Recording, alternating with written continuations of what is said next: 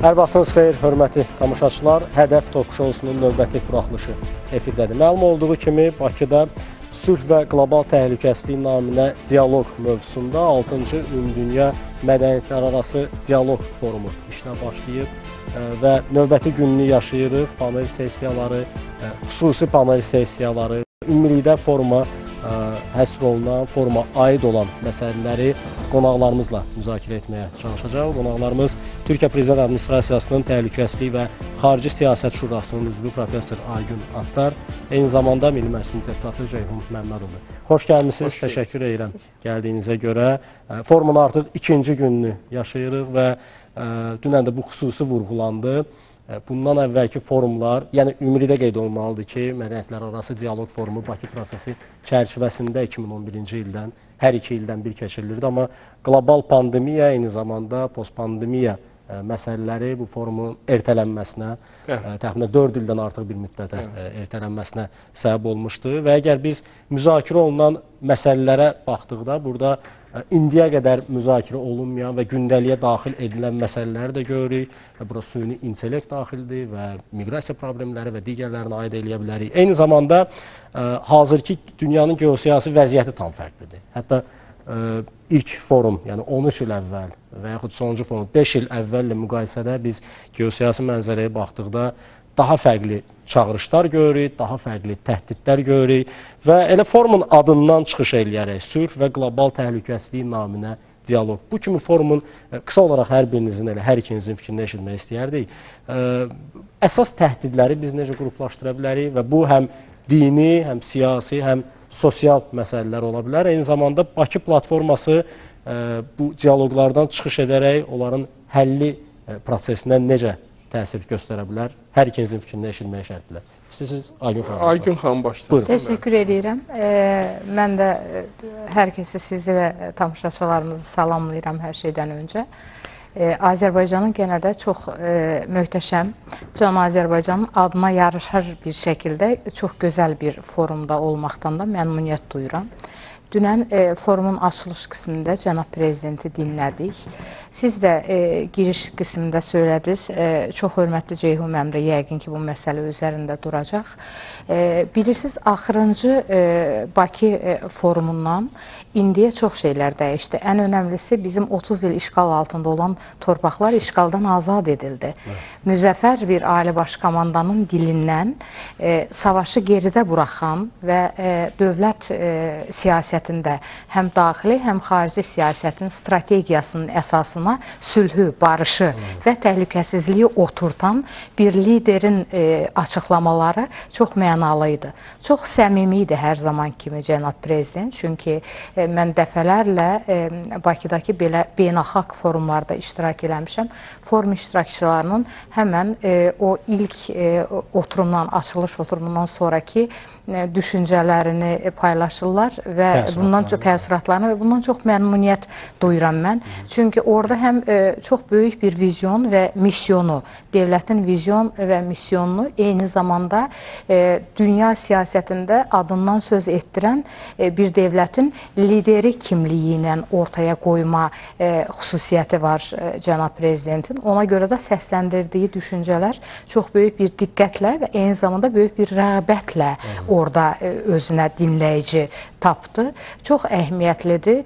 E, biz e, müharibənin acısını eyni zamanda e, bu bilirsiniz UNESCO ilə birlikdə Azərbaycan Mədəniyyət Nazirliyinin də təşəbbüsü ilə keçirilən bir proses olduğu üçün burada ən çox mədəni mirası vandalizmlə onun təsirindən mənfi dərəcədə etkilənən bir ölkədə Azərbaycan. Çünki bizim təbiətimiz, e, indi dünyanın üzərində durduğu o yaşıl ekonomi, yaşıl enerji, bütün bunların hamısının əsasını təşkil edən Cənnət Qarabağ və Azərbaycan torpaqlarının 20 faizində olan mədəni irsimiz eyni zamanda işğal olundu və talan edildi.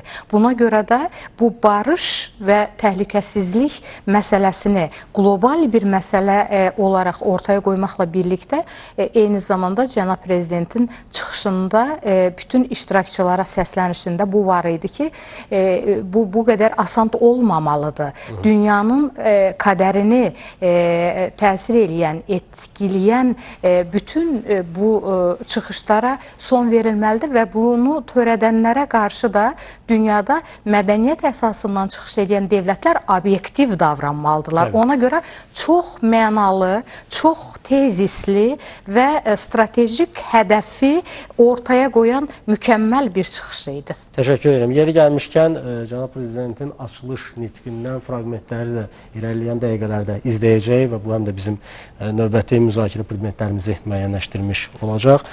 Biz qeyri-ixtiyari bir müqayisəli təhlil apardıq. Həm 10 il, e, 13 il əvvəllə eyni zamanda 5 il əvvəllə biz e, həm 2011-ci ildə, həm 2019-cu ildə e, dünya dini liderlərinin birinci və ikinci sammitinə e, şahidlik etmişdik. Bu gün Şuşada dini liderlərin xüsusi bir panel sessiyası da e, keçirilir və bu da yəqin ki, əlamətdar hadisələrdəndir. E, birinci suala əlavə olaraq həm də onu e, sizdən öyrənmək istəyərdik ki, ümumiyyətlə din ən böyük stimullardan biri olaraq qalır və ola bilər ki, dinin gələcəyi haqqında və yaxud dinin hazırki cəmiyyətlərə təsiri haqqında çox fərqli fikirlər var çox fərqli.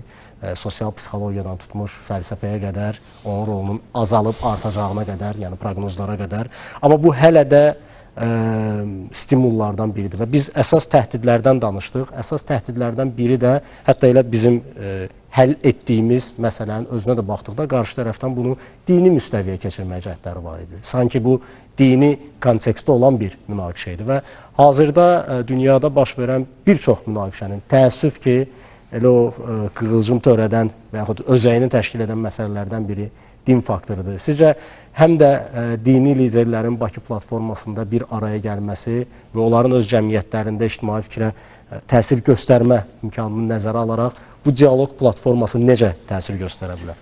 Bəli, öncə onu qeyd edək ki, Aygün xanım da qeyd etdiyi kimi, həqiqətən bu gün Azərbaycan böyük bir tədbirə ev sahibliyi edir. 2011-ci ildən bu proses başladı. Hər iki ildən bir qeyd olundu və 2019-cu ildə də e, keçirildi. Sonra pandemiya dövrü oldu və o dövrdən bu dövrə kimi dünyamızda çox ciddi dəyişikliklər baş verib. E, münaqişələrin sayı daha da artıbdı. Regional müstəvidə, ümumiyyətlə dünya müstəvisində biz çox ağır proseslərin getdiyini görürük. Beynəlxalq təşkilatlar mövcud problemlərin həllində acizdilər və onların qəbul etdiyi qətnamələr də kağız parçasından başqa bir şey deyil. Biz bunu özümüzün yaşadığımız 30 illik münaqişədə gördük. Və bu gün Azərbaycan həm də reallığı dəyişib. Biz artıq qalibik. Əvvəlki e, biz forumlarda daha çox işğaldan, işğalın yaratdığı fəsadlardan bəhs edirdiksə, bugünkü çıxışında cənab prezident gələcəklə bağlı çox mühüm mesajlar verdi. Ermənistanla bizim sülh danışıqlarımız, delimitasiya, demarkasiya prosesi bunlar çox ciddi dəyişikliklərdir və ən önəmli məsələ odur ki, bu gün biz artıq özümüz birbaşa Ermənistanla Hə. bu danışıqları davam etdiririk və bu da nəticə etibarilə prosesə öz tövhəsini açıq-aydın verir. Burada digər bir önəmli məsələ isə sizin qeyd etdiyiniz kimi, yəni dinə Azərbaycanın yanaşmasıdır. Bilirsiniz ki, bu gün dini, xüsusilə də İslam dinini dünyada bir terror dini kimi evet. təqdim etməyə çalışırlar.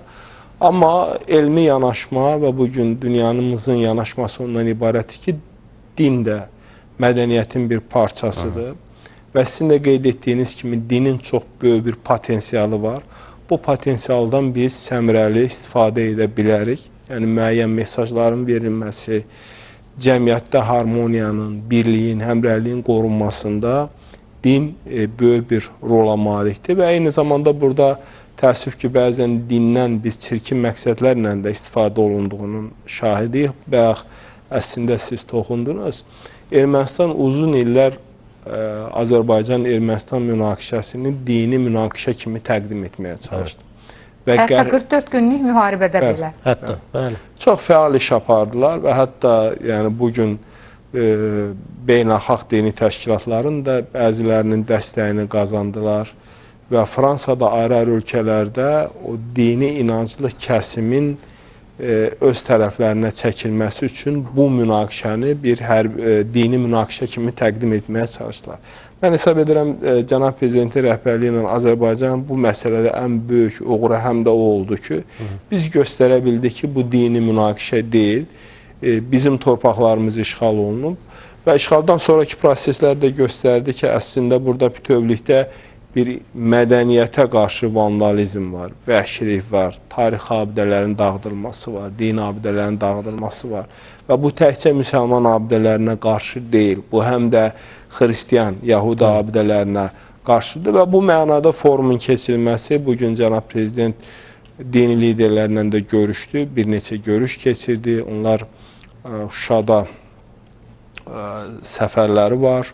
Burada da müxtəlif müzakirələr aparacaqlar və hesab edirəm ki, çox uğurlu bir yanaşmadır ki, bu gün Azərbaycan dövləti bu məsələdə dinin potensialından da istifadə edir və biz e, iştirakçılara baxanda orada kifayət qədər e, siyasi, ictimai liderlərlə yanaşı dini liderlərin də olduğunu görürük, hansı ki, onların cəmiyyətdə böyük nüfuzu var və onlar bu prosesdə fəal şəkildə iştirak edərək bizim o qarşımıza qoyduğumuz hədəflərə doğru addımlamağımızda öz töhfələrini verə bilərlər. İşğaldan azad olunmuş ərazilərdə keçirilən xüsusi sessiyalara toxunduq. Şuşa ilə bərabər həm də Ağdamda Bəli. ə, panel sessiyalarının keçirilməsi var idi. Səhv etmirəmsə siz özünüz də elə işğaldan azad olunan ə, ərazilərə səfər edəcəksiniz. Bəli.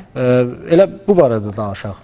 Niyə vacibdir işğaldan azad olunan ərazilər? İndiyə qədər biz bir çox forumların müəyyən bir hissələrinin məhz həmin ərazilərdən keçirilməsini görürük. Bir platform olaraq bu həm də ə, sülhə vəsilə kimi qiymətləndirilə bilərmi? Yəni bu bizim münasibətimizi mi göstərir, yoxsa necə? E, bilirsiniz, e, əvvəla e, bu qlobal forma zaman-zaman çünki xalq arasında da e, əvvəllər bu soru sorulurdu, amma Azərbaycanda e, bəzi dırnaq arası e, yaxşı niyyəti olmayan insanlar kütlələrə dezinformasiya verərək, məsələn, bu tədbirlərə nə gərək var deyirdilər. Zaman içərisində Azərbaycan xalqı nə qədər e, əhəmiyyətlidir və nədən gərək var həqiqətini öyrənmiş oldu. Çünki bu forumların hamısı həyata keçirilən bütün bu tədbirlər istər Bakıda həyata keçirilsin, xüsusilə sizin sorunuza cavab olaraq işğaldan azad olunmuş torpaqlarda həyata keçirilən tədbirlərin hamısı e, bu yabancıların public diplomasi dedikləri kamu diplomasisidir. E, və cənab prezident 44 günlük müharibədə e, müharibədə bir tək yumruq e, halında Azərbaycan xalqının millət və dövlət olaraq bütünləşməsinin, birləşməsinin təməl e, cəhətlərindən, səbəblərindən birisi oydu ki, e, dövlətin aldığı bir qərarın uygulaması deyil Azərbaycanda həyata keçirilən bütün bu tədbirlər. Millətin istəyi və dövlətin də ağıllı yönləndirilməsi ilə həyata keçirilən tədbirlərdir bunlar. Forumların hamısı din e, xadimləri burada nədən əhəmiyyətlidir? NGO-lar, qeyri-hökumət təşkilatları burada nədən əhəmiyyətlidir ki, mən çox sayda e, iki gündür onların təmsilçilərini xaricdən e, görürəm. Bunlar nə üçün əhəmiyyətlidir? Ona görə ki, bu e, toplumun, ictimaiyyətin, kamunun eyni zamanda e, həyata keçirdiyi könüllü bir şəkildə dövlətin siyasətində fəal iştirakçı olmasını arzu etdiyi bir zəminin oluşturulmasıdır. Bu belə bir auditoriyadır və cənab prezident bunun fərqində olduğu üçün uzun illərdir həm cənab prezident, həm vitse-prezident e, Mehriban xanımın həyata keçirdiyi çox əhəmiyyətli beynəlxalq tədbirlər var. Bəli. Biz hətta işğal altında olduğumuz süreçdə belə o tədbirləri həyata keçirməkdən heç bir zaman e, əl çəkmədik. Bəli. Bundan heç bir zaman e, kənara çəkmədik özümüzü. Bu həm də Çünki- üzr sözünüzə qüvvət Buyurun. soft power, yəni yumşaq güc power, kimi. Bəli, bəli, yumşaq güc. Bəli. Yumşaq güc. Bilirsiniz, artıq Amerika Birləşik Devlətlərinin e, İraqdakı, digər böyük dövlətlərin başqa regiondakı hamlələri bunu göstərir ki, o hard power-ın heç bir o e, sərt gücün, qatı gücün heç bir qarşılığı olmur. Bunu e, Azərbaycan ağıllı bir şəkildə və bugün e, panellərdə də e, danışılanlar, dünənki cənab prezidentin açılış e, çıxışında bir cümlə söyləmişdi. Azərbaycan tarixdən günümüzə qədər coğrafi olaraq geostratejisi yanına Azərbaycanın elə bir bölgədə yerləşir ki, Azərbaycanda çox kültürlülük, e, multikulturalizm dediyimiz və tolerans həyat tərzi o qədər gözəl bir şəkildə dedi ki ona cənab prezident. Yəni bu bu günə aid bir şey deyil. Bəli. Bu keçmişdən günümüzə qədər bizim adət, ənənələrimiz, yaşam fəlsəfəmizin özüdür. Həyat tərzimiz. Həyat tərzimizdir. Təşəkkür edirəm. Tam bunun e, qarşılığı da həyat tərzimizdir bu bizim. Ona görə də o bölgələrə gedildiyi zaman o bölgənin iştirakçısı olan bu forumların iştirakçısı olan o bölgədəki insanların məsələn mən əcnəbilərlə ora ən azından 6 dəfə indiyə qədər o bölgələrdən müxtəlif tədbirlərdə olmuşam mən. E, Türkiyə prezidenti ilə birlikdə gəldiyim rəsmi səfərlərdən əlavə bu tür tədbirlərdə olmuşam. Bilirsiniz, ora e, ora qədər Azərbaycana qarşı ön yarğılı olan, e, bəzi batılı dövlətlərin o ideologiya makinasının bir parçası halına çevrilmiş olan, Azərbaycana qarşı obyektiv deyil, subyektiv olan e, televiziya kanallarının, qeyri-hökumət təşkilatlarının və ya e, think tanklərin, düşüncə quruluşlarının təmsilçilərinin belə orada ermənilər tərəfindən törədilmiş olan e, o mənzərə qarşısında iki əllərini başlarına götürdüklərini, yerə oturduqlarını, heyrətlərini ifadə etdiklərini görürük. Yəni görsəllik hər zaman siyasətdə çox əhəmiyyətlidir. Görsəllik hər zaman dəqiq və incə vuruşdur. Bir şeyi siz anlatarsınız, amma anlatım etkili olar. Bir də görsəl birbaşa e, icra etməyə insanı təşviq edər. Deməli. Yəni vicdan sahibi olan bir insan Ağdamda, Füzulidə, Cəbrayılda, Qubadlıda, Kəlbəcərdə, e, hətta Şuşada Allaha şükür indi təkrar cənnət kimliyinə Şuşa geriyə qovuşdu dövlətimizin və millətimizin sayəsində. O mənzərəni görən insan, vicdan sahibi olan insan bu qlobal forumların da digər e, keçirilən tədbirlərin də təməl amacı vicdanı hərəkətə gətirməkdir. Təbii. Etnik kimliyindən, dini kimliyindən asılı olmayaraq vicdanlı bir şəkildə obyektiv fikri ortaya qoymaqdır. Hətta bura bir məsələyə də aid etmək olar. Yəni bizim haqq işimizdə bu işğal dövründə bizim tərəfimizdə olan ə, təşkilat rəhbərləri, ictimai xadimlər, siyasi xadimlərin də hətta bu məsələdən, yəni bu haqsızlıqdan, ədalətsizlikdən, eyni zamanda orada aparılan o dağıdıcılıq işlərindən xəbərdar olanlar belə sizin qeyd etdiyiniz kimi həmin o yerə çatanda tam fərqli təəssüratlar olur. Əgər xatirinizdədirsə, biz ə, bu forumun keçirilməsində dəstəkçi olan. İSESCO-nu qeyd elədik. BMT Sivilizasiyalar Alyansını, Dünya Turizm Forumunu və digərlərini İSESCO rəhbəri cənab Əl-Maliki Ağdam məscidini gördükdə elə qeyd etdiyiniz kimi tam fərqli təəssüratlarını bildirmişdi. Anda ki biz bizim təsəvvürümüz var idi orada hansı proses gəlib, Bəli. onu yerində gördükdə nə qədər böyük dəhşətin baş verdiyini. Burada yalnız şahid icazənizlə bir, bir şey də əlavə eləmək istəyirəm.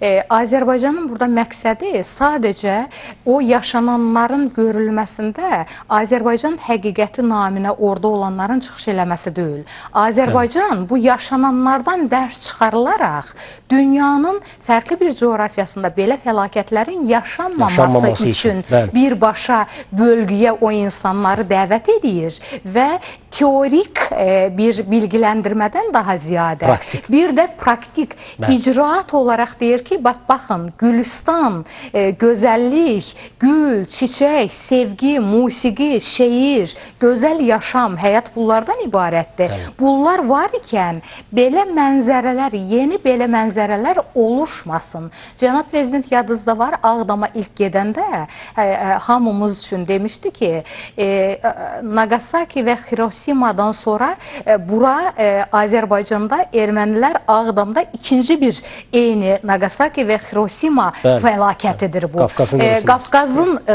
Hiroşimasıdır. İndi orada Azərbaycanın təməl istəyi budur ki, əslində Azərbaycan çox önəmli bir misyonu həyata keçirir. Azərbaycan dünya sülhü, dünya barışı namına çox əhəmiyyətli tədbirlərə imza atır. Mən ona görə də Azərbaycanda doğulub böyümüş bir Azərbaycan türkü olaraq bundan çox böyük qürur duyuram. Kənardan görüləndə bəlkə Azərbaycanın içərisində bu bütün dərinliyi ilə bu qədər hiss olunmur.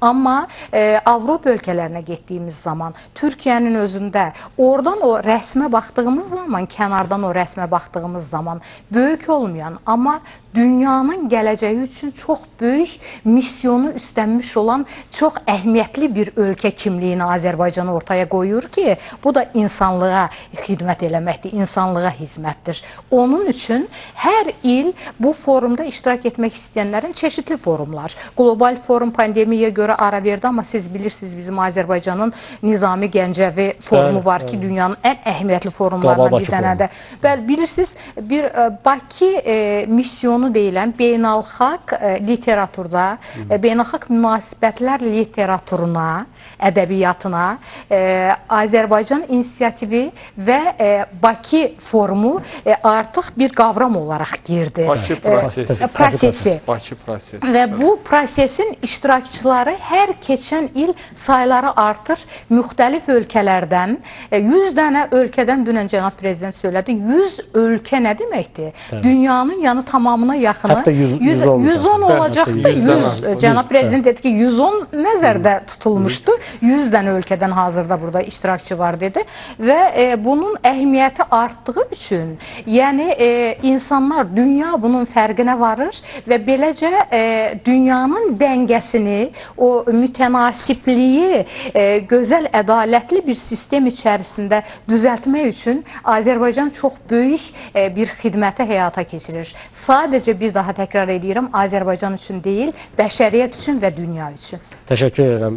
Siz qeyd elədiniz ki, forum iştirakçısı olaraq digər iştirakçıların e, açılış nitqindən, yəni Prezident İlham Əliyevin açılış nitqindən çox mütəəssir olduğunu bildirdiniz. Elə yeri gəlmişkən e, həmin çıxışdan bir hissəni hissəyə nəzər salmağı e, təklif edirəm. Daha sonra söhbətimizi davam etdirəcəyik.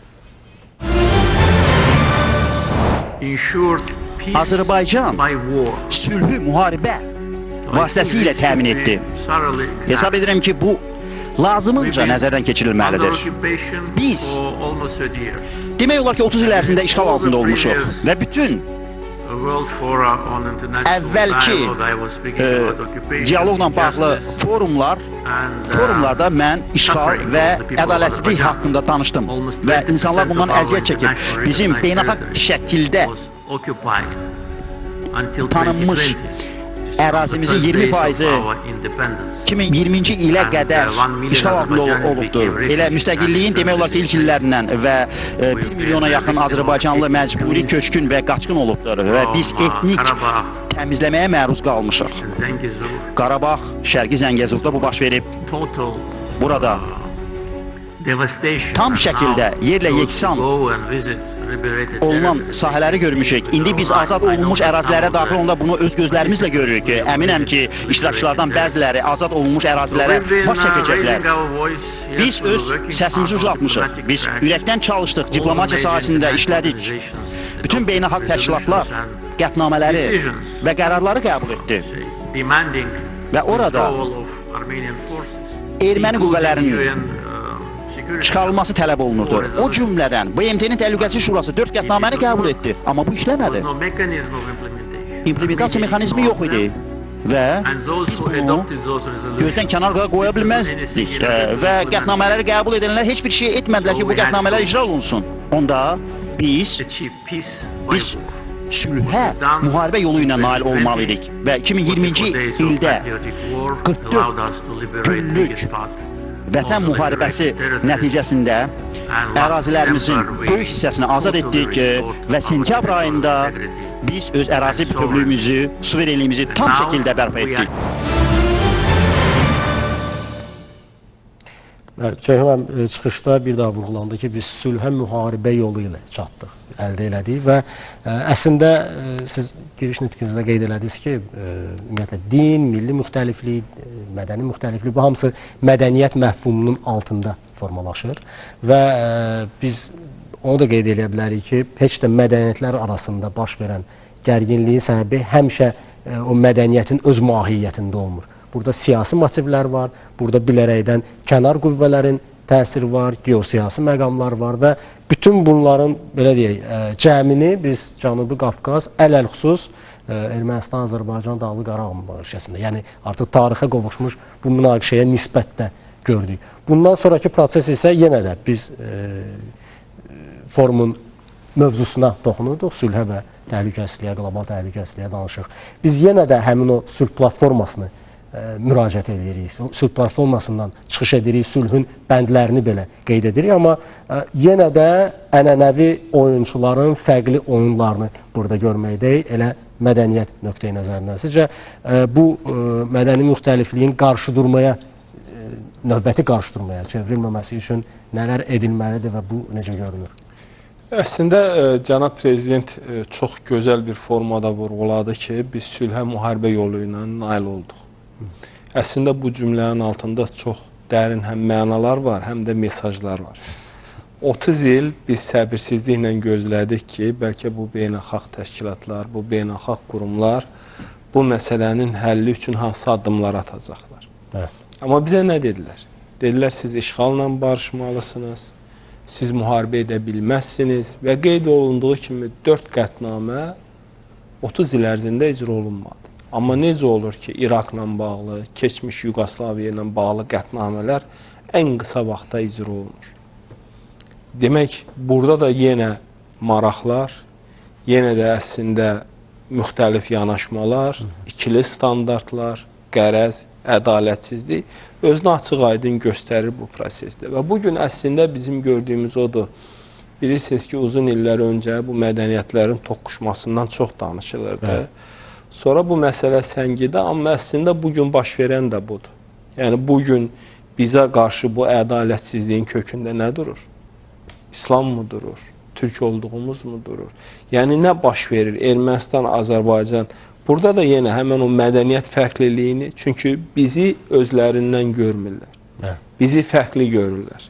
Dini təəssübkeşlik. Bəli, dini milli təəssübkeşlik, yəni milli məsələ, onlar indiki bu prosesdə isə biz düzdür 30 ildə fərqli bir yanaşmanı görürdük. Amma bu gün də tamam fərqli bir yanaşmanı görürük. İndi isə bizim bu qələbəmizi həzm edə bilmirlər. Yaxşı, siz 30 ildə bunu edə bilmədiniz. Biz müharibə yolu ilə sülhü təmin etdik. İndi niyə imkan vermirsiniz ki, Azərbaycan, Ermənistan sülhə doğru birgə addımlasınlar? Əslində orada cənab prezident qeyd elədi. Yəni biz bir yerdə məsələni həll edirik, irəliyə doğru gedirik. Amma onlar nə deyirlər? Biz siz edə bilməzsiniz. Bəli. Nə üçün edə bilmərik? Çünki onların maraqları təmin olunmalıdır. Çünki onlar bizim bölgəyə gəlmədilər və o mənada əslində bilirsiniz, baxın, Azərbaycan bir kiçik dövlət olsa da, cənab prezidentin rəhbərliyi ilə çox böyük işləri görür. Bu gün dünyamızı narahat edən məsələlər Azərbaycanda müzakirə olunur. Bu sadə məsələ deyil. İstər e, humanitar forumlar, mədəniyyətlər arası dialoq və bir müddət bundan əvvəl İslamofobiya ilə bağlı Bəli. böyük bir tədbir keçirildi və Nizami Gəncəvadla o beynəlxalq mərkəzin həyata keçirdiyi tədbirlər, yəni bu gün əslində Azərbaycan bir həyəcan təbili çalır. Yəni biz deyirik ki, biz bu çətinliyi yaşadıq, bayaq siz qeyd etdiniz. Biz istəmirik ki, yenidən hansısa xalq bunu yaşasın. Yenidən dünyamızda bu faciələr baş versin. İndi bayaq biz qeyd edirik, dünyanın heç bir yerində son tarixdə bu qədər barbarlıq olmayıbdır. Yəni sən necə 67 məscidin 65-ini dağıdırsan, inək saxlayırsan, donuz saxlayırsan və buna da beynəlxalq aləm heç bir reaksiya vermir. 1 milyon yarım minanı bastırırsan və bu mina xəritələrinin verilməsi ilə bağlı Ermənistan heç bir təzyiq edilmir. Və əslində burada da yəni mesaj odur ki, biz bu acı tarixi yaşadıq, özümüz öz məsələmizi həll etdik. Növbəti mərhələlərdə bu hadisələrin baş verməməsi üçün dünya dövlətləri çalışmalıdır. Amma bu gün biz əks istiqamətdə görürük. Kimlərsə böhranların daha da dərinləşdirilməsi, münaqişələrin daha da ağırlaşdırılması üçün addımlar atırlar və getdikcə bu düşmənçilik daha açıq formada özünü göstərir. Baxın Fransada nə baş verir? Dəfələrlə sizin studiyada müzakirə etmişik. Ya Amerika Birləşmiş Ştatları olsun. Bunlar iddia edirlər ki, demokratik dövlətdilər. Bunlar mədəniyyətlərin mərkəzləridir. Amma bu gün Fransa ən islamofob ölkədir. Bu gün e, dünyanın ayrı-ayrı ölkələrində də biz bunu görürük. O mənada bu mesajlar önəmlidir və e, biz e, burada da ayrı-ayrı yəni dövlətlərin, yəni söhbət 100 ölkə 700 qonaqdan söhbət gedir. parlament sədrləri var, siyasi liderlər var, dini liderlər var və bu mənada mən düşünürəm ki, indi bu geniş bir formada da işıqlandırılır. Dünyamız bu mesajları dinləməlidirlər. Dinləməsələr bu münaqişələrin sayı artacaq, müharibələrin sayı artacaq. Bu gün ətrafımız qaynayır. İndi qonşu dövlətlərdə də bu problemləri Məsələn, Ermənistan daxilində son günlər nə baş verir? İndi Gürcüstanın daxilində nə baş verir? Ayrı-ayrı yerlərdə nə baş verir? Azərbaycan isə müsbət mesajları verir. Biz daxildə bunu təmin etmişik, amma istəyirik ki, digər xalqlar da, dövlətlər də yenidən bu münaqişələri yaşamasınlar. Siz mədəni, dini, tarixi abidələrin dağıdılmasının məsələsinə toxundunuz. İşğal dövründə bu məqsəd yönlü bilərəkdən həyata keçirilmiş məsələdir. Amma təəssübkeşlik nöqteyi nəzərindən çıxış etsək, bunun nə dini ə, əsası var? Çünki heç bir din öz dinindən olmayan abidələrin sökülməsinə rəvac vermir, bir mənalı qəbul etmir. Bu nə mədəni nöqteyi nəzərdən bir ə, əsaslandırıla bilər. Ona görə ki, ümumiyyətlə ibadət yerinin və yaxud ə, tarixi ə, yerlərin, tarixi abidələrin, mədəni abidələrin dağıdılması əxlaqi nöqteyi nəzərdən Ya üç dinin üçündə də bu qadağandır. Bir yəni, mənalı. qəti şəkildə icazə verilmir, amma baxın, Quran növbəti dəfə yandırılır, Bəli. təhqir olunur. Yəni, amma əslində səmavi dinlər bu proseslərin əleyhinədir, amma bu dindən bu gün sizin də qeyd etdiyiniz kimi tamamilə başqa məqsədlərlə Təəssüf istifadəyə cəhdlər var. Təəssüf ki. E, hər iki natiqin çıxışında biz e, onu eşitdik ki, e, ümumiyyətlə bu platforma planetar, yəni dünyada əsas məsələlərin həllini gözləyən məsələlərin müzakirə platformasına çevrilib və Ayun xanım da bir çıxışında qeyd elədi ki, çox böyük təəssüratlarla ayrılırlar ümumilikdə forumdan. Azərbaycan televiziyasının əməkdaşları elə 2 gündür ki, forum iştirakçılarından e, onların fikirlərini alırlar, həm forumun əhəmiyyəti barədə, ümumilikdə müzakirə olunan məsələlərlə e, bağlı və yeri gəlmişkən istəyərdim ki, elə e, həmin müsahibələrə bir daha nəzər sala, daha sonra söhbətimizə qayıdırıq. Mən təqaüddə olan keçmiş jurnalist və Kaliforniyanın San Diego Universitetində təlimatçıyam. Tədbirdə günümüzün bəzi kritik məsələlərinə toxunuldu. Biz çox gözəl bir dünyada yaşayırıq və hesab edirəm ki, bu imkanlar bizi sülh yolu ilə bir araya gətirir. Biz prezident İlham Əliyevə güvənirik və onun dediklərini həqiqətən dəstəkləyirəm. Onun Azərbaycanın prezidenti olmuş atası kimi liderlik tarixi var. Bu səbəbdən ölkəniz ancaq böyüyür və inkişaf edir. Mədəniyyətlərarası dialoqları ümumi şəkildə müzakirə etmək üçün burada olmaqdan şadıq. Biz bunun dünya üçün çox vacib olduğunu düşünürük. Bildiyiniz kimi, hazırda hazırda yaxın və orta şərqdə, Afrikadakı bəzi ölkələrdə münaqişələr var. Hesab edirik ki, insanlar bu məsələləri danışıq yolu ilə və ya masa ətrafında həll edə bilərlər. Belarusun Azərbaycanla oxşar cəhətləri var. Çünki Belarusda da pravoslavlar, katoliklər, müsəlmanlar və digər dinin nümayəndələri mehriban şəkildə yaşayır. Azərbaycanda da eyni tendensiya müşahidə olunur və belə forumlar sayəsində biz ölkələrimiz haqqında ətraflı məlumatlar alırıq, həmçinin dünyada baş verən hadisələrin müzakirəsini aparırıq. Çalışırıq ki, bəzi problemlərin qarşısını alaq. Benim e, katıldığım oturum, panel İpek yolunun dinamikleriydi. Bilindiği gibi tarihi İpek yolu özellikle 2000 sonrası dönemde yeni İpek yolu olarak Çin başta olmak üzere Avrasya ülkeleri hatta küresel güç Amerika Birleşik Devletleri tarafından canlandırılıp e, buraya yeniden hayat verilmek isteniyor. Bu kapsamda da biz e, temelde 5 soru altında İpek yolunun dinamiklerini e, çevreden siyasete, kültürel etkileşimden e, ticari etkiye kadar çok yönlü olarak farklı ülkelerden uzmanlarla değerlendirmeye çalıştık. Bu konfransın təşkilatçılarını və bütün tərəfdaşlarını bu cür yüksək səviyyəli konstruktiv dialoqun təşkilinə görə təbrik edirəm. Dialoq vasitəsilə uçurumları aradan götürüb problemləri həll etmək mümkündür. Onu da əlavə edim ki, Azərbaycanda insanlar çox mehribandılar. Mən Pakistandanam deyən kimi hörmətlə yanaşırlar. Qardaş münasibəti göstərirlər. Biz özümüzü evimizdəki kimi hiss edirik. Bu Azərbaycan hökumətinin böyük təşəbbüsüdür. Bura bizim işləməli olduğumuz yerdir. Bura zamana ehtiyacı olan bir yerdir. Biz bura çox inanırıq. Əgər təhlükəsizlik istəyiriksə, xalqımız üçün yaxşı bir davamlı həyat istəyiriksə, o zaman birlikdə işləməliyik. Hər sahədə çalışmalıyıq. Bu gün dünyanın hər yerindən bir çox insanla görüşmək, mədəniyyətimizin və irsimizin təqdimatları bizim və gələcək nəsillər üçün çox vacibdir. Bu gözəl forumda iştirak etməkdən çox şadam. Zat aliləri Prezident Əliyevin çıxışı məni heyran etdi. Çıxış çox uzaq görən və bəşəriyyət üçün olduqca əhəmiyyətli idi. Bizə həqiqətən də Prezident İlham Əliyev kimi uzaq görən lider lazımdır ki, müharibələrin həlli yollarını tapsın, bəşəriyyətə sülh və barışıq gətirsin. İnsanlara forumda iştirak etməyi çox tövsiyə edirəm, çünki bu ən heyrətamiz platformalardan biridir. Bakı həmişə olduğu kimi sülhün və tolerantlığın paytaxtıdır. Bugün müxtəlif dinlərin bütün liderləri burada bir aradadılar. Yahudilik, İslam, Hristiyanlıq. Biz dünyanı necə daha yaxşı və daha gözəl bir yerə çevirmək barədə danışırıq. Ümid edirik ki, bu dünyada vəziyyətə öz təsirini göstərəcək.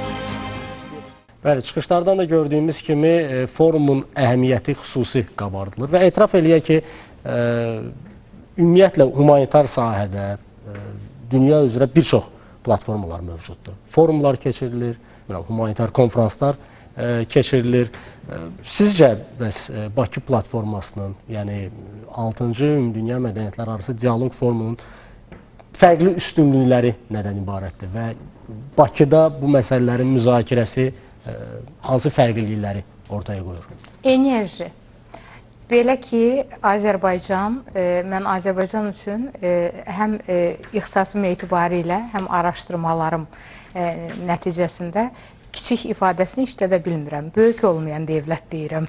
e, Azərbaycan e, böyük olmayan dövlət olsa da e, hamımız bilirik ki, xüsusilə Rusiya-Ukrayna krizində Avropa ölkələrinin Azərbaycan e, dövlət yetkililəri ilə həyata keçirdikləri o dialoqlar sonrasında dünyanın e, Asiya-Avropa arasındakı da dəngənin e, yerinə oturması üçün Azərbaycanın nə qədər əhəmiyyətli bir enerji ürəticisi ölkə olduğu ortaya çıxdı. Amma Ay, mənim bu enerjim ikinci enerjidir. Burada mən e, buyurun. Siz e, böyük olmayan dövlət e, ifadəsini işlətdiniz. E, bir çox ekspertlər elə e, bu verilişin platformasında da daha iki ifadə də var, onu da qeyd edeyim.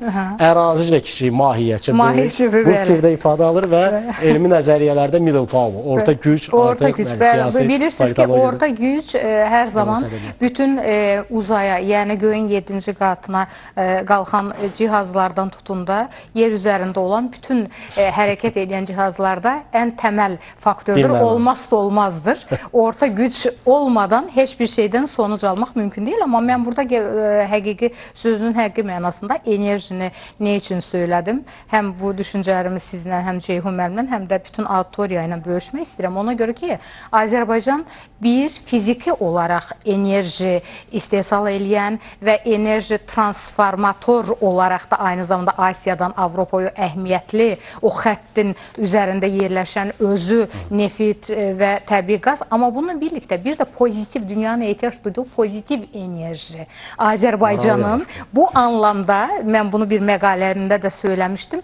E, Azərbaycanı fərqli e, dünyanın e, Davosdan tutun da başqa e, burada ad verib e, deşifrə eləmək istəmirəm. Sizin də çox gözəl onu söylədiniz. Dünyanın çox yerlərində markalaşmış çox əhəmiyyətli forumlar var və platformlar var. Azərbaycanın həyata keçirdiyi platformlardakı Azərbaycanın markası Azərbaycanın enerjisidir. Bir bir kərə hər zaman e, gənc, dinamik, enerjik, e, kimi zaman ən e, gözəl e, qəbul edilməsi o auditoriyada çətin olan e, fikirləri belə e, kendisinə xas professional, e, biraz da yumor hissi içərisinə qataraq onu birbaşa təmas, gözəl dialoq nəticəsində ortaya qoyan dövlət başqanı var.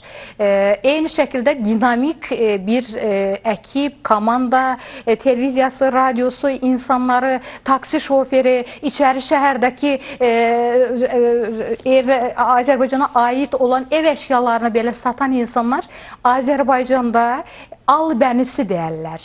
Azərbaycanı çox cazib halə gətirən, cazibədar yapan ölkənin enerjisi var. Pozitiv enerji var və bu enerji Azərbaycan üçün çox əhəmiyyətli bir markadır. Baxın, e, Skandinav ölkələrinə gedin, İsveçə gedin, İsveçliyə gedin, Danimarkaya gedin, hara gedərsinizsə gedin, e, biri ilə bir təmasa keçirsiniz, ya bir restoranda yemək yeyirsiniz, ya toplantı ortamında Azərbaycan dediğiniz zaman ən soyuq və günəşin ən az görüldüyü o ölkələrdə belə bir təbəssüm, gülüş Azərbaycanla birlikdə dünya bu enerjiyə çox böyük ciddi ehtiyacı var dünyanın. Dinən də, cismən də dünyanı var edən şey enerjidir. Dünyanın özü sonsuzluq işarəti müsbət və mənfiyi eyni zamanda tolerə edən bir enerji bütünüdür. Azərbaycan dünyaya varlığı ilə bu gözəl, bu cənnət ölkə dünyaya varlığı ilə dünyanın ən çox ehtiyac duyduğu, dünyanın bu dəqiqə çox e, irəli e, texnoloji 3-cü nəsil, ağıllı nəsil, 5-ci nəsil deyilən silahlardan daha ziyadə ehtiyacı olan şey insanlığın enerjidir, pozitiv enerjidir. Azərbaycan ona görə də bu Azərbaycanın bu toplantılarını, bu forumlarını, bu platformlarını Bakının hər şeydən fərqləndirən şey Azərbaycanın o enerjisidir. Kimlər ki bu enerjinin fərqinə varırlar, ona görə də bu enerjidən nəsiblənmək üçün və bu enerjiyə nə qədər çox ehtiyac duyulduğunu idrak edən məntiqli insanlar, ölkələr, quruluşlar, e, sivil toplum quruluşları, düşüncə quruluşları Azərbaycan bir ahanrüba deyərlərdi keçmişdə. Öz e, e, bilinməyən, əslində biz bilirik səbəbini, enerji bir güclə özünə çəkir dövlətləri, insanları, bu platform iştirakçılarını. İşte mən ona görə də deyirəm ki, Allah Azərbaycanın bu enerjisini heç tükətməsin. Çünki dünyanın bu enerjiyə çox böyük ehtiyacı var. İnsan olduğumuz üçün bu enerjiyə ehtiyacımız var. Baxın biz o 44 günlük savaşda hər kəs çox şeydən etkiləndi. Siz bilirsiniz ki, cənab prezidentin bayaq dinlədiyimiz o çıxışında söylədiyi Qarabağ, Şərqi Zəngəzur, mən ailə etibarilə onların ikisindən də o torpaqlardan olan insan olduğum üçün orada insanların nə böyük travmalar, kültürel miraslarla ilgili yaşadıklarını bilirəm. Amma bununla birlikdə o 44 günlük savaşda biz bunu gördük ki, Azərbaycan dünyanın yeganə ölkəsidir.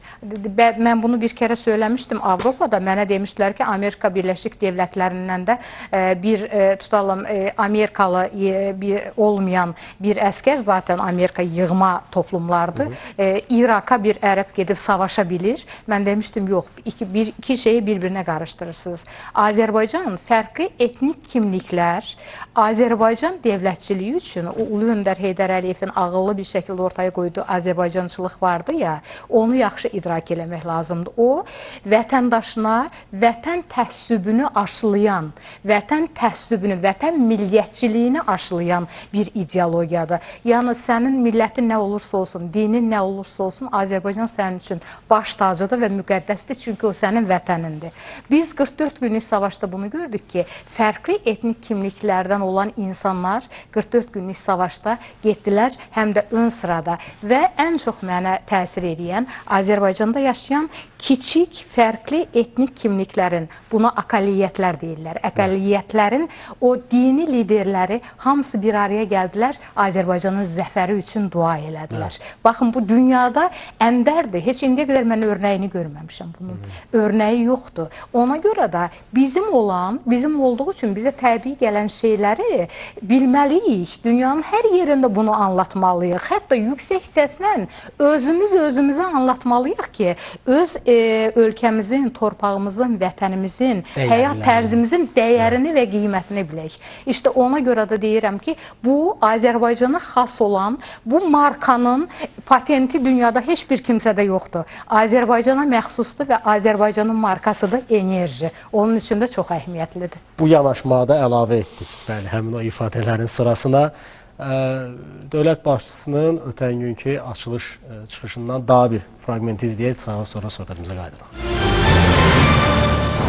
2019-cu ildə Bakıda görüşümüzdən sonra əfsuslar olsun ki, dünya təhlükəsiz olmayıb. Əfsuslar olsun ki, biz yeni münaqişələrə görürük, yeni qeyri-sabitlik məkanlarını görürük və yeni təhdidləri görürük. Və hörmətli nümayəndələrdən ibarət auditoriya əminəm ki, öz töhfəsini verəcək ideyalar və yeni yanaşmalar formalaşacaq ki, qlobal gündəlikdə olan məsələlərə ən təxirə salınmaz bir həll variantları tapılsın. Azərbaycanın öz təcrübəsi var. Həmin məsələlərin həllində, gündəlikdə olan məsələlərin müzakirəsində təcrübəsi var.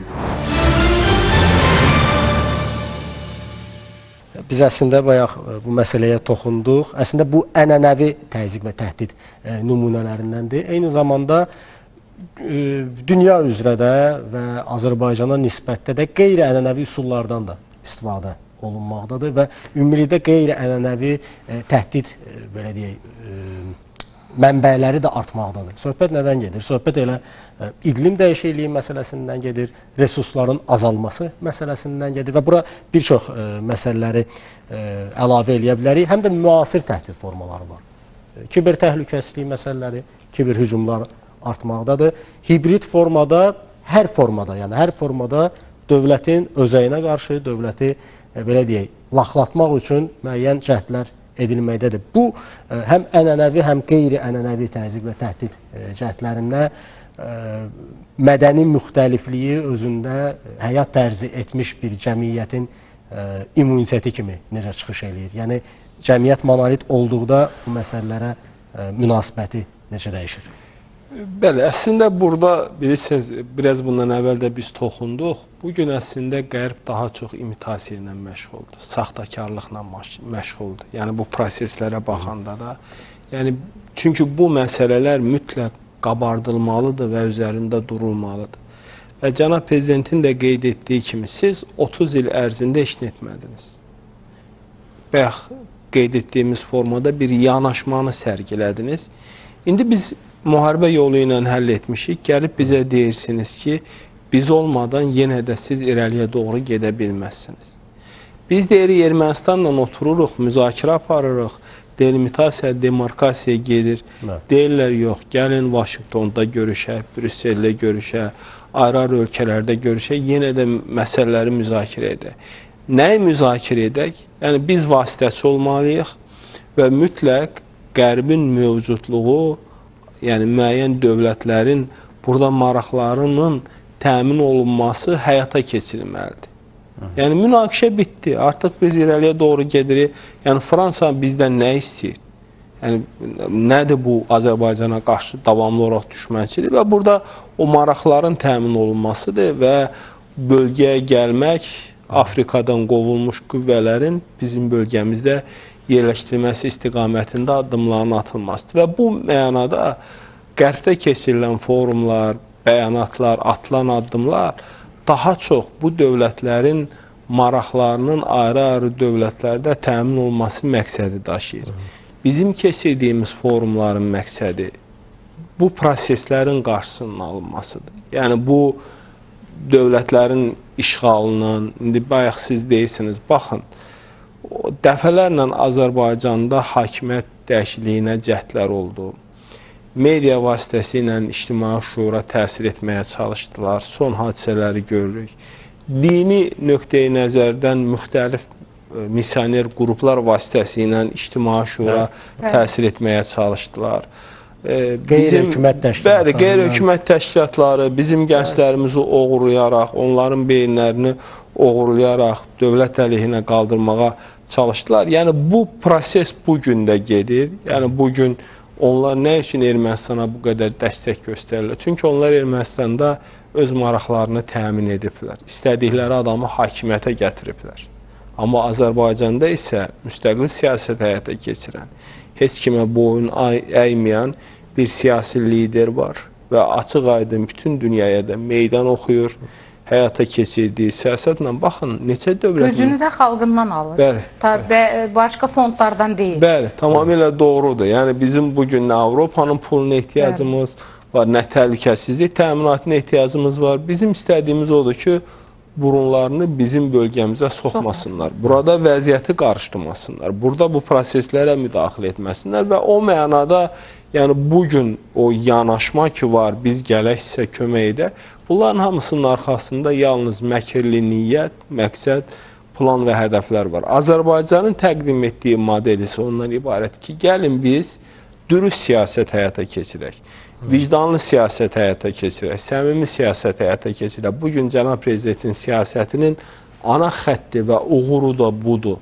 Xalqa açıqlıq, real yəni mövqe ortaya qoyulması, açıq-aydın dünyada baş verən haqsızlığa Azərbaycan səsini qaldırır. Biz pandemiya dövründə vaksinlərin ədalətsiz paylanmasına qarşı Etiraz Azərbaycanın Evet. reaksiyasını gördük. Ümumiyyətlə BMT çərçivəsində bu ədalətsiz siyasətə Azərbaycan davamlı olaraq öz mövqeyini bildirdi və o mənada Azərbaycanda ki bu ənənələr var, Azərbaycanda ki bu xalq iqtidar birliyi var, həyata keçirilən bu siyasət var. Bunlar hər zaman o proseslərin ə, qarşısını alır və gələcəkdə də alacaq və burada məsələ nədir? Onlar öz maraqlarını təmin edə bilmədiklərinə görə davamlı olaraq hücumlar edirlər. Baxın indi Fransa səfirini geri çağırdı. Bir müddətdən sonra yenidən ə, səfiri nə baş verir? Yəni nə istəyirsiniz siz bizdən? Dediyimiz həmin məsələlərdir. Yəni qəribə bir mənzərə yaranıb. Ermənistan bizdən danışıq aparır. Biz prosesə başlayırıq. Fransa oradan deyir ki, yox, bu mümkün deyil. Ya başqa dövlət, məsələn, nədir bu Avropa İttifaqının, Avropa Şurasının davamlı qətnamələri, davamlı bəyanatları nə istəyirsiniz siz bizdən? Və bu da o mənada məqsədli bir siyasətdir. Bizim isə mövqeyimiz məlumdur. Biz ədalətin tərəfdarıyıq, haqqın tərəfindir və istədiyimiz də odur ki, bizə ədalətli bir yanaşma olsun. Əgər bu olmayacaqsa biz öz işimizi görmüşük, görəcəyik və bu gündən də sonra bu siyasəti davam etdirəcəyik və bu gün önəmlisi odur ki, dünyanın taleyi Azərbaycanda müzakirə olunur. Azərbaycanda çox önəmli məsələlər müzakirə olunaraq dünyamıza mesajlar verilir. O dünyanın hansı ölkəsində bu humanitar, yəni miqrasiya ilə bağlı, demək, ekologiya ilə bağlı Azərbaycan COP29-a e, ev sahibliyi edəcək. Bu da Azərbaycanın növbəti bir böyük uğurudur. Bu uğuru həzm edə bilmirlər, amma biz isə hədəflərimizə doğru gedirik, gedəcəyik və e, bu cəhdlər də əlbəttə ki, Azərbaycana qarşı heç zaman uğurlu olmayacaq. Çünki burada bir güclü lider var, müstəqil siyasət var və e, eyni zamanda öz prezidentini dəstəkləyən xalq var, birlik var, həmrəylik var və ən önəmlisi harmoniya var. Mən çox təşəkkür edirəm hər birinizə vaxt tapıb gəldiyinizə görə. Siz həm də bu forumun ə, iştirakçılarındansınız, panel müzakirələrinin iştirakçılarındansınız. Vaxtınıza görə minnətdarlığımı ifadə edirəm. Ə, veriliş ərzində dəfələrlə ə, qeyd olundu ki, ə, 100 ölkə, 100-dən artıq ölkə, 700-dən artıq iştirakçı dünyanın narahat edən və həllini gözləyən məsələlərin müzakirəsi üçün, onların dialoqu üçün yığışır və biz bundan əvvəlki forumları da müqayisə etsək, forumların nəticələrini müqayisə etsək, əminliklə deyə bilərik ki, bu platforma yenə də növbət dəfə dünyaya sülh və eyni zamanda qlobal təhlükəsizlik naminə irəliyə doğru bir addımın atılmasına vəsilə olacaq. Çox təşəkkür edirəm mərkəzinizə görə. Hörmətli tamaşaçılar, Hədəf tok şousuna baxırdınız. Görüşənədək.